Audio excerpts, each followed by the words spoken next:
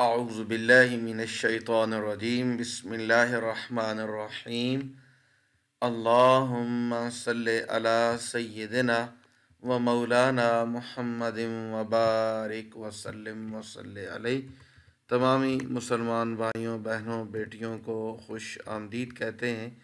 अल्लाह तबारक व ताली नबी करीम रऊफ़ुर्रहीम सल्लल्लाहु अलैहि वसल्लम का सदका तमाम ही मुसलमानों को खैरियत व आफ़ियत से माला माल फरमाए और अल्लाह करीम हमें आयत करीमा का 25 रबी अव्वल इतवार का दिन ये अमल करने की तोफ़ी अता फ़रमाए और अल्लाह करीम इसके पूरे पूरे जो फ़वाद हैं माल के करीम हमें नसीब फरमाए।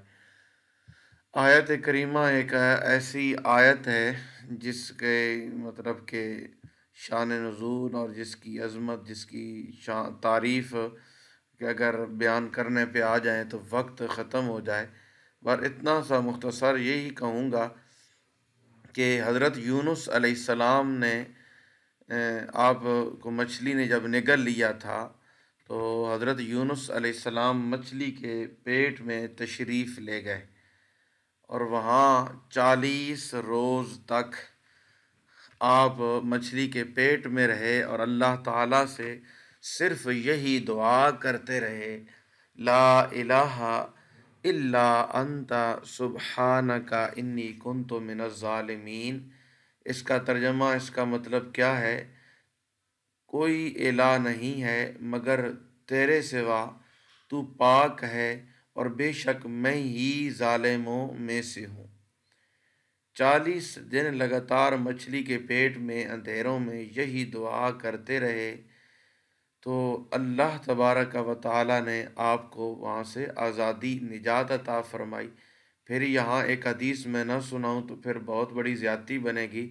नबी करीम रऊफ़ुर्रहीम सल्लल्लाहु अलैहि ने इरशाद फरमाया, जिसने आयत करीमा पढ़ कर अल्लाह ताला से दुआ की, अल्लाह ताला उसकी दुआ को कबूल फरमाएँगे। ठीक है? अगर कोई भी मुसलमान किसी भी चीज़ के लिए अल्लाह ताला से इस दुआ के ज़रिए दुआ करे तो अल्लाह पाक उसकी दुआ ज़रूर कबूल फरमाएँगे। आयत करीमा की कोई ख़ास मकदार शरान मुतन नहीं है। लिहाजा आयत करीमा की जितनी मकदार भी पढ़ी जाए तो वो ज़रूर नफ़ामंद होती है।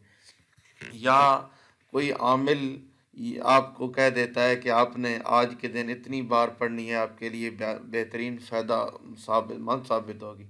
जैसा कि आज पच्चीस रबी अव्वल हमने इक्कीस मरतबा आयत करीमा पढ़नी है, लेकिन पढ़ने का जो अंदाज़ है, वो अलग है, वो कैसे वो मैं इंशाल्लाह आपको बताऊँगा ज़रूर। बुज़ुर्गों ने अपने अपने तजर्बात की रोशनी में अलग अलग हजात के लिए अलग अलग तादादें बयान की हैं। बाद ने एक मजलिस में 111 मरतबा, बाद ने रात की तारीकी और हजरे की तनाई में 313 मरतबा, बाद हजरात ने लंबा जो है वजीफ़ा करने के लिए सत्तर हज़ार या सवा लाख या डेढ़ लाख मरतबा पढ़ने को की जो है ना वो दुआ की कबूलियत और हर जायज़ हाजत की बराबरी के लिए मुजरब करार दिया।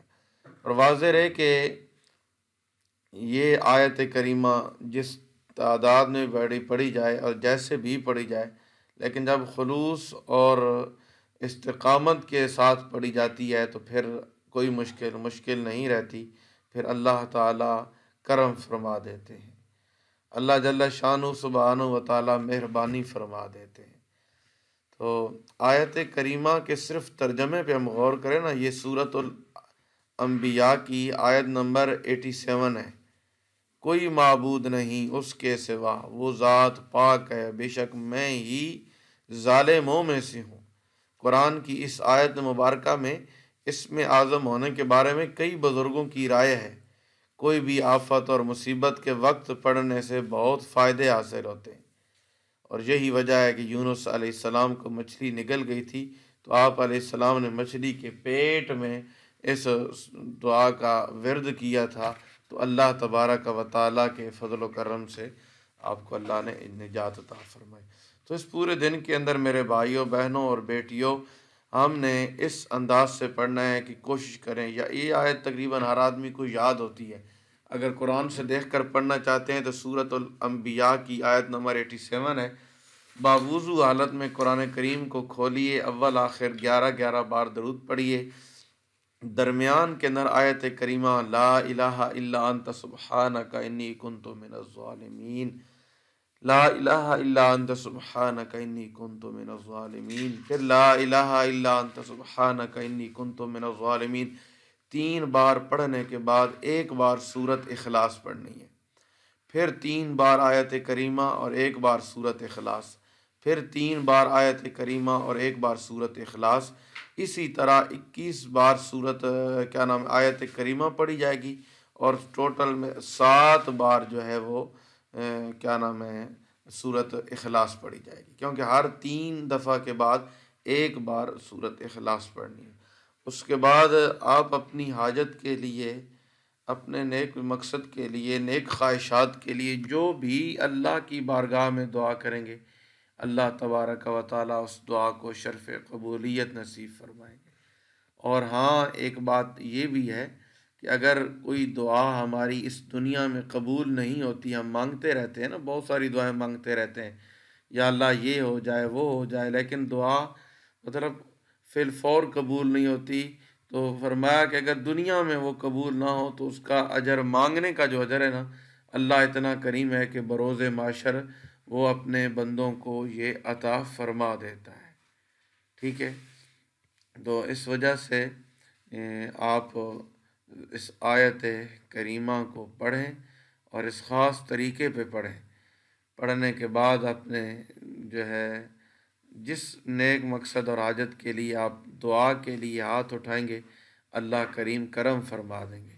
कुरान करीम पूरे का पूरा बरकतों वाला, अज़मतों वाला, हदायत वाला है। लेकिन हर आयत, हर मतलब के रुकू, हर सूरत का एक अपना ख़ास मकाम है। बाद बुज़ुर्ग तो ये फरमाते हैं कि ये जो आयत करीमा इसके पढ़ने से अल्लाह के फ़रिश्ते रज़्क की बोरियाँ भर कर दे जाते हैं। मुश्किलात के पहाड़ ख़त्म हो जाते हैं और अल्लाह उन दिलों के ऊपर, उन घरों के ऊपर अपना करम फरमा देते हैं कि जो मालिक करीम के फजल करम से आयत करीमा के आमिल बन जाते हैं, यानी कि पढ़ने वाले बन जाते हैं। तो अल्लाह जल जलाल सुबहान व ताली, हुजूर नबी करीम रऊफ़ुररहीम सल्लल्लाहु ताला अलैहि का सदका तमाम मुसलमानों को अपनी हिफ्ज़ अमान नसीब फरमाए। मालिक करीम गैब के ख़जानों में से रिज़ के हलाल नसीब फरमाए। अपनी दुआओं में याद रखना और अपना ढेर सारा ख्याल रखना। मिलेंगे नेक्स्ट वीडियो में। अल्लाह हाफिज़। अस्सलाम वालेकुम वरहमतुल्लाहि वबरकातुहू